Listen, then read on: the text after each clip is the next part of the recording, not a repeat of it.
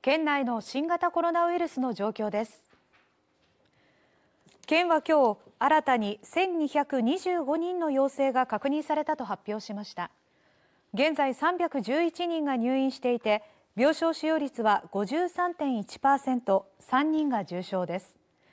また先月16日から昨日までに70代から80代が3人90歳以上が3人の合わせて6人が亡くなったということです。